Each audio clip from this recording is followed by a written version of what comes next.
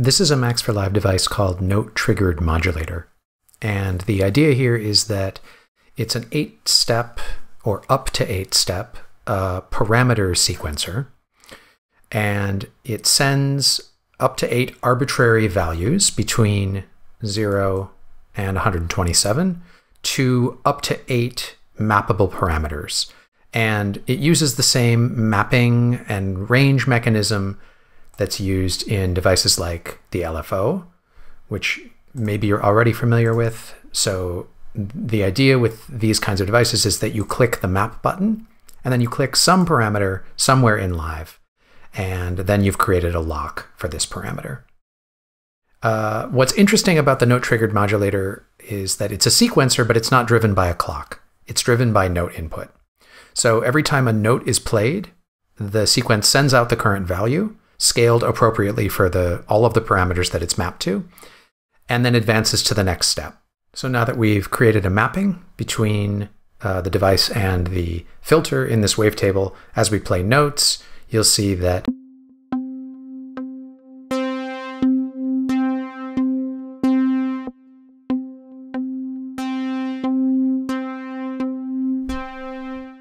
we advance a step and then the filter frequency snaps to the scaled value uh, of the sequencer at that moment. And we can reverse the scaling as well or scale it in a different way. So just like in the LFO, we could make this go backwards.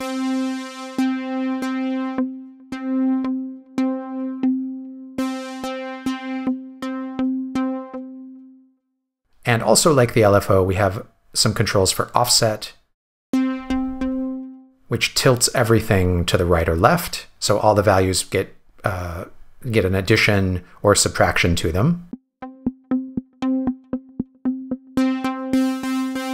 Which in this case is countered by the fact that we're inverting the scaling.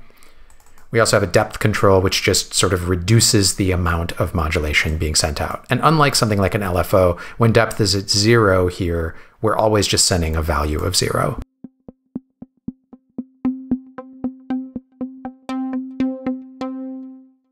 So maybe another interesting thing here is that right now the the whole concept of the sequencer is that we snap immediately from one value to the other, but there's also a glide parameter. So we can add up to 255 milliseconds of delay.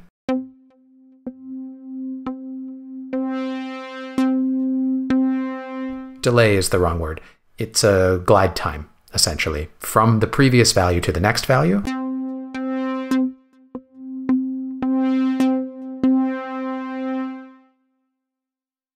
And we can drive this, of course, by a clip. So if we play a clip full of notes, we advance the sequencer automatically. What's important to note is that the value is sent before the MIDI note is sent. Uh, so we can also use this to modulate things like um, MIDI effects. And we can be sure that the MIDI effect will be, the MIDI effects value will be altered before the note is sent to the corresponding instrument. So if we play a sequence now,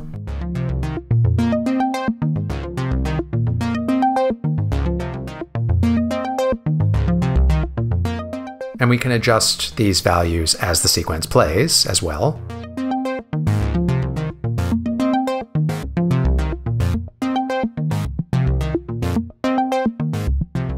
And maybe here it's easier to hear what's happening with glide and offset.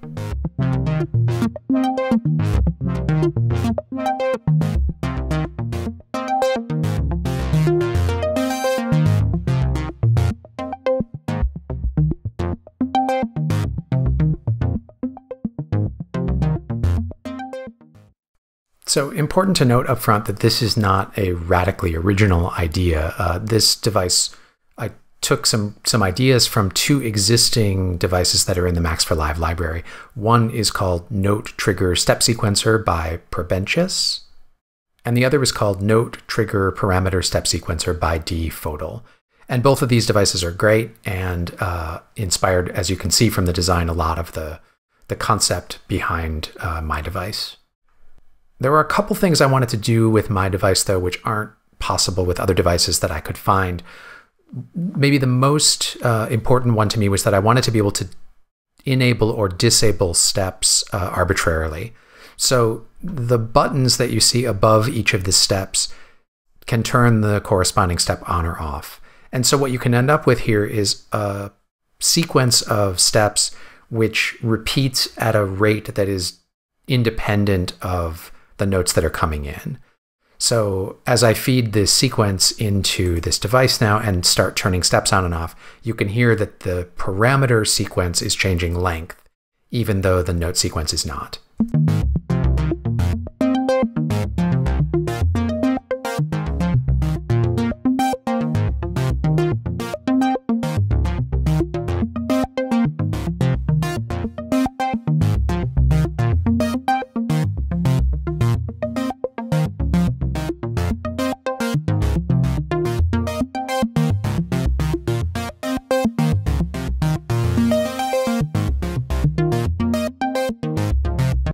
Okay, so if you've played with other devices that I've made before, you know that this kind of th these kinds of polymetric concepts uh, and advancing sequencers in a in a note triggered way are sort of important to the to a lot of the devices that I make.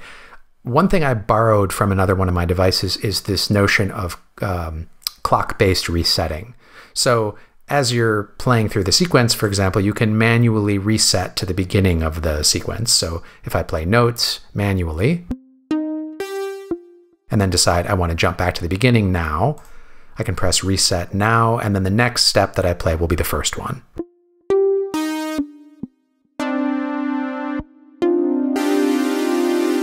But I can also have this triggered uh, by clock values. So for example, if I want to repeat this pattern every two bars at the current in the current meter, I can specify that I want this to repeat every two bars. And then even though it's a pattern that's five uh, events long, it will jump back to the beginning every two bars of the pattern. So let's listen to how this works.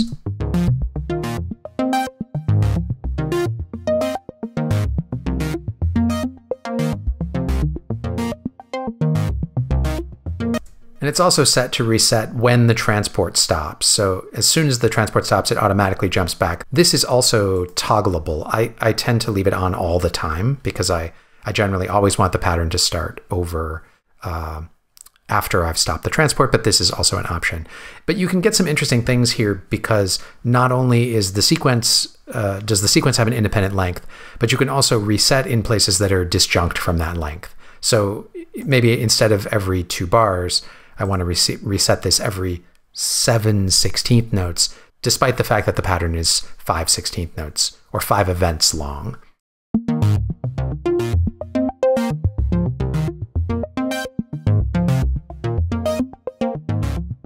Or maybe 11 16th notes, for example.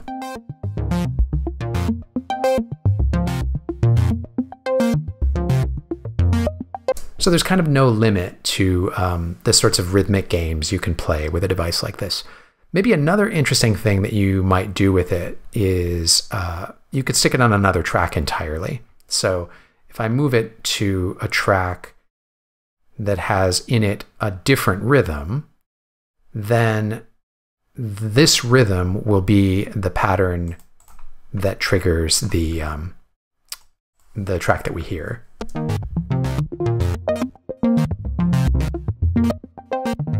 Let's turn off our resetter now.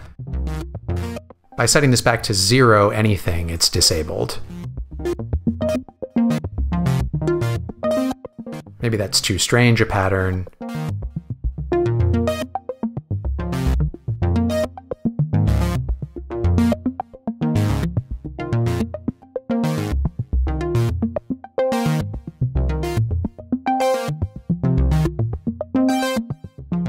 So there's no need to have the events that are uh, triggering the device be the same as the events that you hear. And in this way, you can end up with pretty interesting sort of decouplings. Maybe this is more audible if we play something slow, like a slow chord progression.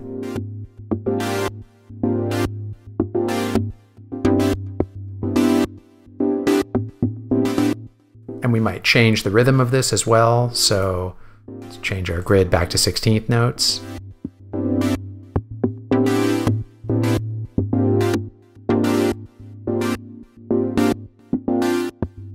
Or maybe we want it to repeat every 16th again.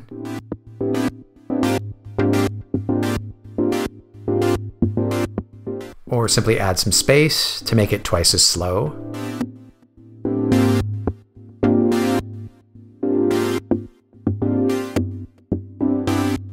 So that can be kind of fun too. Um, it's an interesting way to uh, to think about creating variation with this. Another interesting thing that you might think about doing with this is using more than one. So although you can map up to eight parameters per instance of the device, each of those eight parameters will be triggered by the same sequence of values, scaled appropriately for that parameter. But you might want another range of uh, parameter values and or a different number of steps.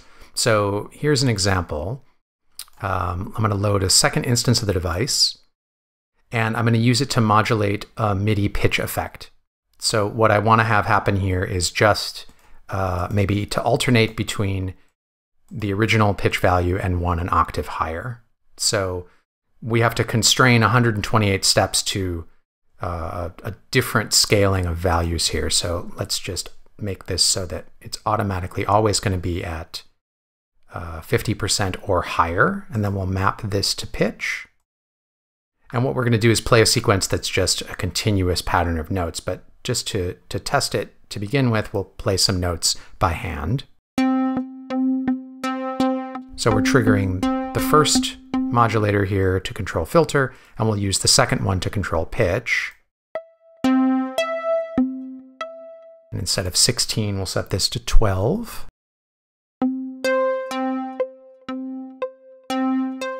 So the notes alternate back and forth between being played at their original pitch and being played an octave higher. But we still have this cycling pattern of five events that's triggering the filter. And let's actually just turn this one off for a second so we can listen to some interesting things that we can do with the second modulator. So I'll play a pattern of continuous sixteenths, which we'll hear like this, and then we'll turn this on. And then maybe we can add additional values here at different levels.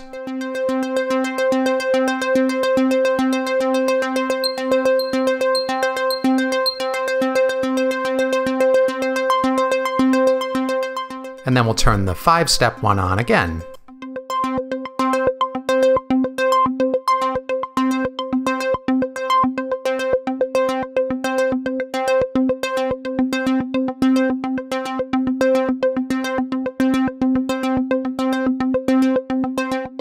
So that's a pretty interesting case. We've got two different patterns cycling here. Um, we could continue to modulate other parameters with one or both of these modulators, but they're doing very different things. This one is cycling through a larger range of values and a, a larger number of cycles for a parameter, uh, for a filter frequency parameter. And this is a smaller number of cycles with a more constrained range, modulating a MIDI pitch effect.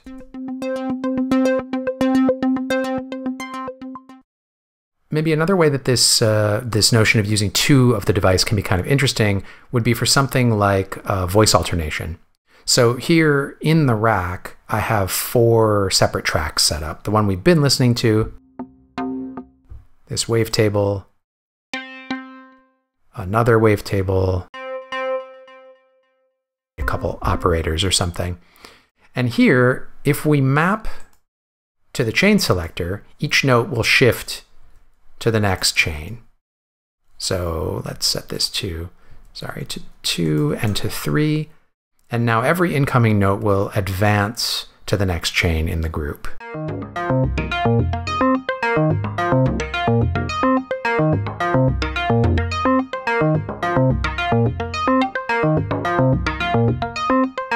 What else we can do with this is kind of interesting. We could enable um, silent steps by enabling uh, additional steps here that assign this chain selector to a chain that doesn't contain anything.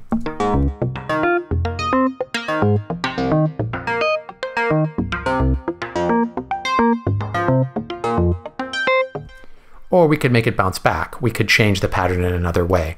So instead of strictly alternating the steps, we could say maybe 0, 1, 2, 3, 0, 0,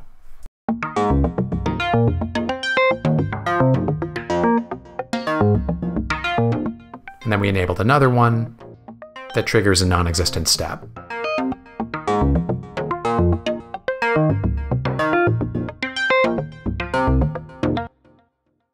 We could also do something like this to an audio effect rack. So I've built an audio effect rack here with a collection of separate effects, each of which is on a different chain.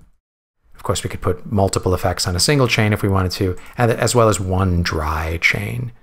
And we could assign this note triggered modulator to step through each of those audio effect chain, uh, chains in the audio effect rack in turn. Let's see. Ah, we have to map it first. Hold on.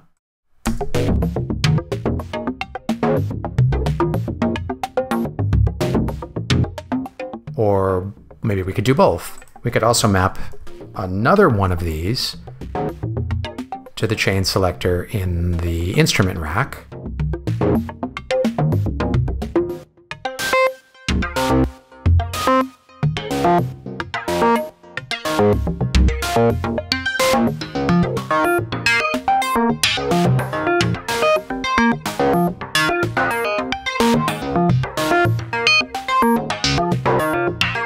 So we're modulating this, the instrument rack's chain selector using this four step version and the note triggered modulator using this seven step version.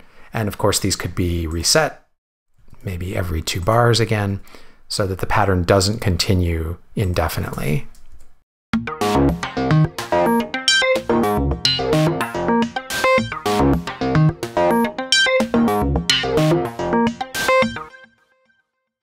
Let's make this a little bit simpler. We'll go back to our original setup. And another thing we might do is modulate one of the note triggered modulator's controls with another one. So, for example,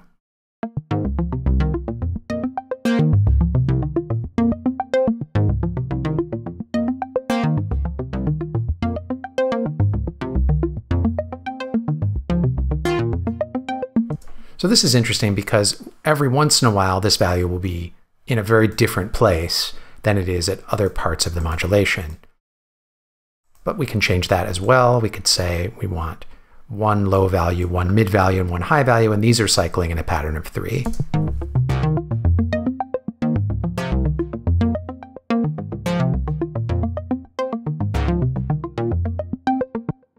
So this is another way that we might end up adding an additional layer of somewhat unpredictable variation to the original pattern. So here we have a filter frequency that's being modulated every five steps, but the second step is itself being modulated in a pattern of three.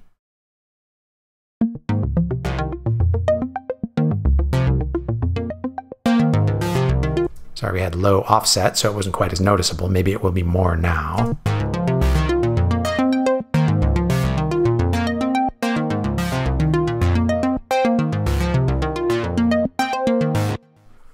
Course, all of these controls, the on-off controls, the overall depth and offset, and each of the individual controls for the modulation steps itself can be automated or MIDI mapped, etc. So I hope you find this device interesting, and uh, I'd love to hear what you do with it.